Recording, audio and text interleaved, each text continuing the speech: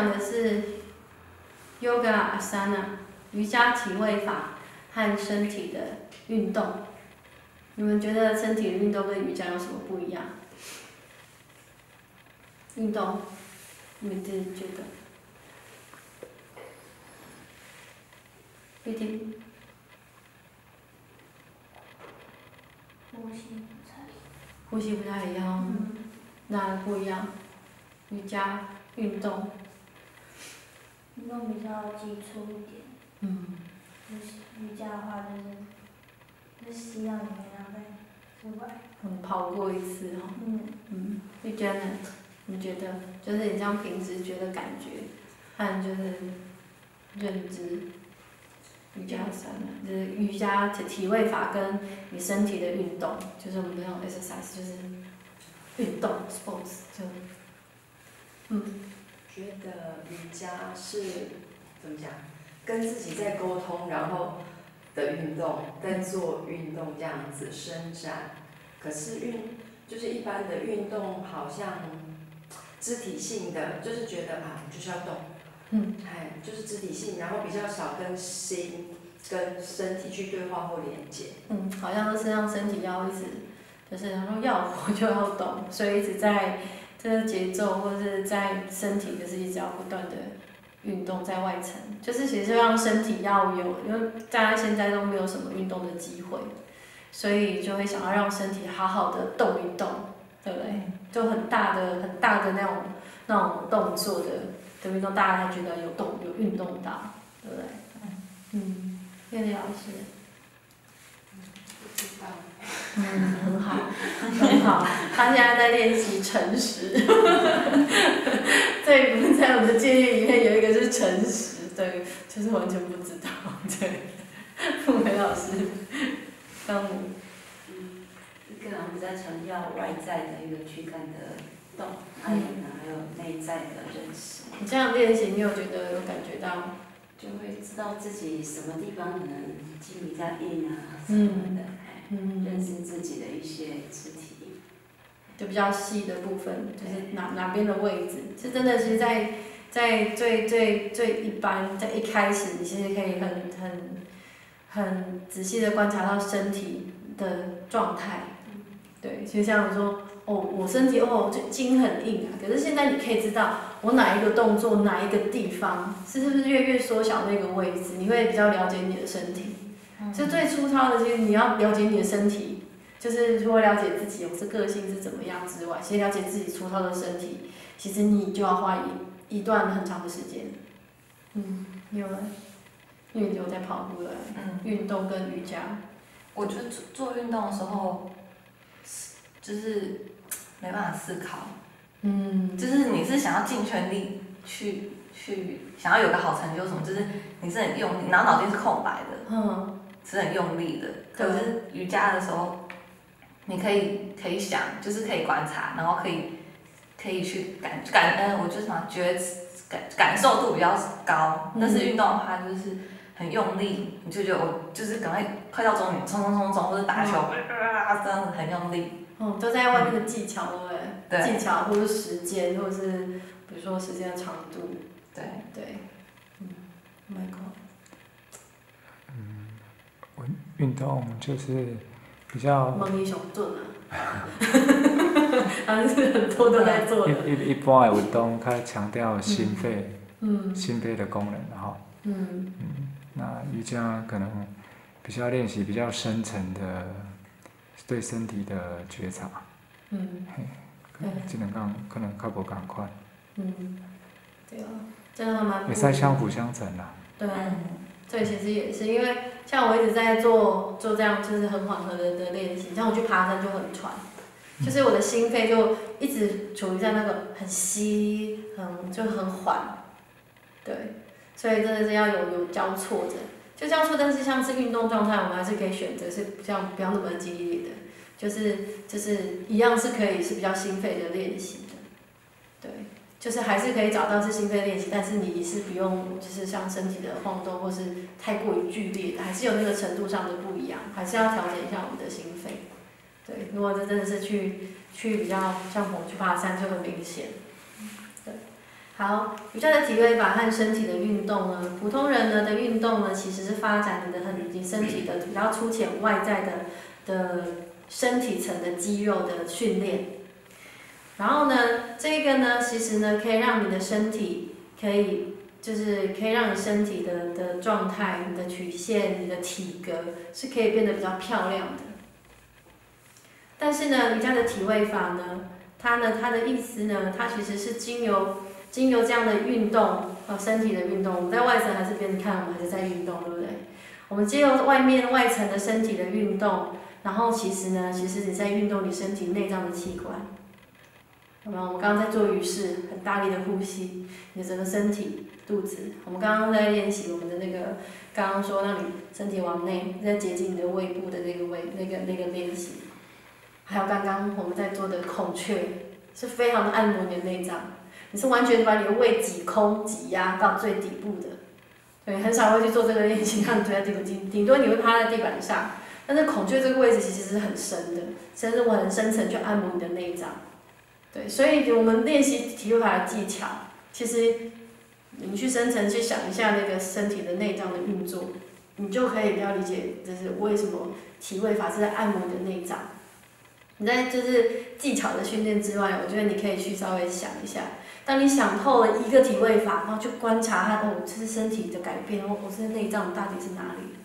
的时候，你你之后所有的练习的那个体位法，你就很容易去。去理解那个那个重点，对，当然身体不一样，没有办法，不是说每个动作你理解就很快的接上可以完成这个动作，但是至少你知道这个动作的益处，你知道自己在做什么。我觉得其实这这些在做什么这件事情，我觉得还蛮重要的，因为是一个生活形态的，就是每件事情你能比较彻底的去深根的了解这样子。好，所以按摩的位置呢，会有你的肝脏。脾脏，还有胰脏，还有你的肠子，还有你的心脏、肺、头脑，还有很重要的、很重要你身体的腺体。虽然在腺体的部分在鱼式，有没有？有喉咙甲状腺的位置它会敞开。所以瑜伽呢，其实呢，它是在调整你身体内脏的器官，然后呢，且让它恢复。就像刚才老师现在提到，要恢复，要去就是调整你的甲状腺体。而且呢，还有其他其他的分泌的腺体，我们都说淋巴有没有？然后去去平衡它的运作，其实这是这是你的身体保养，其实是最重要的。你的腺体的保养比你身体的肌肉保养还要重要。腺体为根，你的肌肉为为为为外外外在的。OK，所以你肌肉其实是外在的，所以你那些腺体肌肉，然后连着又是你的内脏，一直其实是有很多层次的。我们肌肉的的雕塑。其实，其实你里面的的机能才是最重要的。肌肉的的的机能，那肌肉的机能就是有它的强度嘛。但是内脏的机能其实它很复杂，内分泌、激素、荷尔蒙，所有的，OK。所以它不管你身体状态，你可以达到这个内分泌的的的的这些腺体的平衡。所以他说说你在做所有的动作，有时候他说所谓的平衡，所以不光你在说肌肉层。所以我们每次在练就是说，如果你是很紧绷的人，其实你要平衡变成放松；你是比较没有力气的人，腹部没有力气的人，就是有些动作做起来，你就要很很很很注意，你就要去训练腹部的力量。其实不管你在哪样的人，你是这边的人那边的人，其实我们都在某一个方向，在自己的方向里面找到平衡。对，所以就是如果是很多人在做重训的人，重训的人其实他们的身体柔软度，他们肌肉很强。他们可以就是重，还有做到举重，就是很厉害。任何的就是重量训练的的东西，他都可以很强。但是当你要做柔软度的时候，也许前弯就是完全就是没有办法。对，所以老师后面有讲到说，其实真正的健康，肌肉的强壮其实不是健康。对，我们等下后面会有点嗯讨论到。好，身体的运动呢，它其实呢，身体的运动，我们现在来说运动这件事情。它其实是让你的身体的能量往外释放的，OK，所以你运动的时候就很喘呼呼，对不对？然后在体位法的能量呢，它的练习，它是把你的身体，机器呃与与体位法当中，它会记，它会把你身体传送能量，传送能量之后呢，它会分散到你身，经由这样的练习分散到你身体整个身体到不一样的系统里面。所以它当这个，你看你你最在做你的分泌系统这些的分散的时候，它其实很细微，它不只是这个肌肉的的的运作而已，它是整个分散到你全部身体的腺体。所以你呼吸的推进，身体的按摩，所以那个那个精细的，其实在那些激素里面。好，再来，在体位法，在体位法的，其实体位法不只是你单单身体的运动，它是呢，它其实呢胜过于你想象的。而呢，他这个练他们的练习呢，它会让你心里得到平衡，它会帮助你可以控制你的情绪。他们会给予你的心理、精神上的的一个力量，OK，所以发现如果你的你的观察力你越越专注的时候，你心越越稳定的时候，你发现你的精神状态其实是很轻松的，你的情绪其实不会那么容易的很起伏、很高低。它是用身体的练习去去去让你心心心的状态变平稳，OK，那哲理又是另外一个，我们现在单单只说就是瑜伽身体的练习。因为你有想过，你身体输送这样子很长的时候，其实你的头脑、血液都有足够的空间，你心情也不会那么，心跳不会那么快，所以你的思考其实是比较平稳的。如果你的心跳像就是一直长期这样子哒哒哒哒哒哒的时候，在当练习瑜伽的时候，它可以帮你拉长，所以你像有点像在这浅层，脑压不会那么强，不会压力那么大，就是不容易爆炸，就是你的情绪不容易被就是就是整个就是刹那间的瓦解掉。所以你的身体是比较平稳的，所以你看你心情平稳，包括你的消化系统。如果你在紧绷的时候，有人在紧绷的时候，其实是没有办法，就是你肠胃是没办法消化的，或是胃痛。你看在紧张的状态下，不只是你身体的肌肉和情绪，你整个内脏全部都是压收住的。所以当这个呼吸带进去的时候，你身体其实是可以很好的循环，但是有点像，有点像你，就是当很紧绷的时候，一呼吸就是。就是有点让它放松，就让它软化下来，慢慢的按摩它，慢慢的按摩它，好像妈妈在按摩你的感觉，就是这很像有人在就是抚慰你的感觉，就是让你的情绪慢慢慢慢的恢复下来。对，所以所以知道这个原理的时候，你就知道自己的呼吸，然后就是所有这样的练习是在做什么。好，然后再来呢，体位法呢？它其实可以唤起你身体身体的能量，或者我们说是库达里尼。直接上网看，你会看到看到库达里尼的练习。库达里尼，库达里尼，它在沉睡的时候，或是你库达里尼在沉睡的时候，其实在你的海底轮。海底轮它太过活跃、太过安静都不好。OK，所以它其实也是在一个平衡的状态。如果海底轮太强的话，这个人会怎么样？就会一直。一直很很高张，一直在做事情，就没办法静下来，然后一直在追求东西，太高的时候，啊很低的时候，你会发现就是动不了。对，所以所以这个海底轮太高太低都是不好的。然后呢，他们会让你的心里得到就是内在的喜乐，还有力量，还有在瑜伽的三摩地、三摩的的三摩地里面，其实你的内在其实会会产生一个非常。非常轻松，然后而且你的心里会对每件事情其实都充满了一些，就是嗯，像你的心会比较有有有激励，还就是我们叫什么？你的心里会比较朝气一点。我们说你在做每件想每件事情会比较有活力的感觉。OK。好，老师说我们这个我们上次说的要更改的，所以如果你一直在做。down 就是你在做呃手的那个那个印度的浮力挺身不需要对浮力挺身，还有呢，还有还有你要做那个吊单杠所以如果你做这些练习呢，即使呢你在做每一天每一天哦做五百下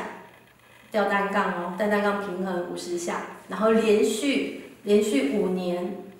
他们。将不会，将不会有任何的帮助，帮助你帮唤醒你身体神秘的力量。他说神秘力量就是你身体潜层的能量。有时候我不知道你有没有在经历过在练习之后，心情会变得比较就是轻松一点。对，我不知道你们心里的风景是怎么样。在练习之后，你的心会跟就是今天整天的心情状态就是有有没有发现去观察你的心情，其实比较是比较轻松的。对，因为我觉得那种练习，我觉得有点像我踩在瑜伽垫的时候，我就觉得我回到我自己，我做我自己，就是我看看着我自己做我自己，我自己原本的样子，就没有人可以限制我，就是我不需要去做别人的眼里的自己。就是现在我就做这个瑜伽动作，然后就是看我身体可以做到哪个位置。一开始我就觉得我在瑜伽里面在玩身体，对，然后有一些动作去去看着身体，我今天身体可以做什么，然后这个不行，哎 这个不行哎，就是一直在练习，然后看着身体，然后就比较放松的去练习瑜伽的时候，你发现哎这个不行，OK 好就这样子。当你越轻松的时候，你一起去尝试的时候，反正那个心情就有点不一样，就比较没有压力。如果你在练习的时候觉得哦哎呀不行哦。哦，就不行哦，这时候完全不一样。所以你在练习瑜伽，如果你觉得，哎，我今天看我今天身体怎么了，就有点在在在让你身体尝试不一样的动作。我觉得那个尝试有点像在做实验。哎，可以，这样可以，你这样不行，你这样很痛，这样不会痛。然后一直去找去找，这也是一种探索的方法，也是去觉察你的身体。对，所以你慢慢去尝试的时候，发现身体越多的可能的时候，你就越来越那个自信跟你的内在其实是自然而然的由，就是由内而生的。因为你在尝试中找到了，那找到不是别人帮你找，是你自己去找，自己在那个长时间，就是像 Michael 找你练习一段时间之后，就觉得啊，就是这个哦，哦，就是这个哦，就是你你练习一段时间之后，同一句话在某一个时间同一句话说，哦，就是这样子哦，什么肚子往内，什么叫做直，或者什么叫做做弯，就是你这样一段时间让身体去去去走过这一段时间。对你才有办法哦，原来是这个哦，原来是这样子。因为身体有时候，头脑跟身体，你的头脑听得懂，身体听不懂，对不对？对，其实是是是正常的。所以让身体去试去试，头脑说哦是直，也许你的头脑跟你的身体想的其实有点差异。所以但是怎么一直在试的时候，怎么让它那个差异慢慢变小，慢慢的都知道说哦一样了，就是那个那个那个状态是一样的。然后老师最后一句说：“所以啊，你在在练习之后，你有看到你身体有哪里不一样吗？有，我有练习了，在这两天，我的肩膀很酸，酸到要爆掉。然后，但是有真的很好，你的身体的肚子从来没有去练习到肚子的位置，他是因为他觉得真的在这样这样练下去，应该会有那个马甲线。对，我们说那个不需要那个。”对，现在真的会可以，你真的可以练习。如果你真的要练的话，你可以练，因为我觉得我现在肚子有点鼓鼓的，现在胃部的位置有两颗，所以那个力量真的还蛮强的。因为整个是拉伸，是整个拉伸从你的胸口、肩膀一直拉伸到你的腹部的位置，就整个拉起来。但是如果我觉得这样子可以去练习我在山上我会喘的状态，也许我可以用这个方式去练习。然后这个练习也可以练到你的肩膀。但是呢，如果你要唤醒你苦难面练的时候呢？嗯，老师说并没有什么不一样，就是没有办法。OK，所以呢，老师说不用花费任何任何的任何的物品，你就可以练习体位法。而且呢，你不用任何的哑铃，你也不用任何的举重的工具，你也不用不用有任何的单杠，然后来让你来让你就是练习，然后让在在瑜伽的瑜伽的练习里面的的健身房呢，其实呢。它最多最多呢，你只是只只只是需要一个简单的毯子，还有呢，你的练习就只有要需要一个很简单的毯子，就这样子而已，所以不需要任何的工具。第二个工具就是你，就是你的身体，就这样子。对，所以其实瑜伽的练习其实很方便，而且其实可以做的很深入，它可以让你的心安静下来，然后可以让你在呼吸的时候，你的你的可以回到你自己。我我觉得现在生活其实你要回到你自己，其实是是一个非常珍贵的事情。你要留一些时间给自己，慢慢你会在瑜伽垫里面看到自己的时候，你会你就会很快乐、很有自信。因为其实我们在在这个生活里面，我们很多东西都要配合很外界的东西，可是外界东西的的的东西其实跟内在有时候其实冲突很大。所以如果你可以在那个冲突里面有一些时间跟自己在一起。然后，当你比较了解自己的时候，你怎么知道去面对那个冲突大的东西？你知道要帮自己定位在哪个位置？你可以比较就是来去自如，你可以去，但是你也可以留在你这里，你才不会一直在那边的时候，慢慢你就变成他了。嗯，所以要有一些时间跟自己在一起，你会一直在回归自己，回归自己。回归自己不是把自己关起来，你是要整理沉淀你自己，让身体的心理状态保持在一个和谐的状态，但是不是逃避哦，不是掩盖哦。之前的练，之前我们很多就是有分享到说，瑜伽不是让你逃避，瑜伽其实是要让你面对。当你开始面对的时候，其实很多很多事要做，你的内在的东西很多要去整理。对，怎么整理，然后再结合在一起，怎么样在生活里面有跟冲突在一起？就是你了解自己跟冲冲突在一起的时候，你会发现你是轻松的跟冲突在一起，他是他，你是你，他不可能不肯离开你的生命的，不然没有冲突，我们就不用来了，我们就不用来这里了，我们就不用这个躯壳来练习了，我们就不会有这个伤、那个旧伤，然后那个肠胃不好，那边怎么样？就这个都是身体的功课。对，所以每一个人都有功课，所以就是功课。当你功课做得越快的时候，功课就来得越快，就是你就越快，就是考过下一章，下一章，下一章，然后就一直做，一直做，一直做的时候，你就会面对困难，你就觉得哦，这件课题是这个哦，哦好，就慢慢的去就是过程去看自己，对，很好玩，人生很好玩，很多的课题，然后觉得有时候就哦，我说要做这个决定。你就做了决定就去，去了之后，你也许你会看到不一样的风景，发现不一样的事情，或是因为你那件事情，你必须要了解你现在是幸福，你必须要且体验一点，从来就做错一个决定，你必须要去做就去做，做了之后你才知道，原来以前的那个状态，其实我一直觉得不满足的状态，其实才是真的很棒的。所以有时候有一些事情冲突，是为了让你理解你现在的状态，厘清你现在的状态。所以有一些不一样的东西出来，其实是好的，嗯，你才会去辨认，嗯，好，我们一起加油，一起去辨认这个我们眼睛所看不到的世界，然后眼睛就觉得有冲突，然后不是看得很清楚的事情，对，谢谢大家，谢谢老谢谢老师，谢谢，谢谢大家，好，今天茶是姜茶哦，然后带回去喝。有姜，有红枣，有枸杞，有牛蒡，对，怎么说？还有黄芪，都带回去喝，烧烧较好口。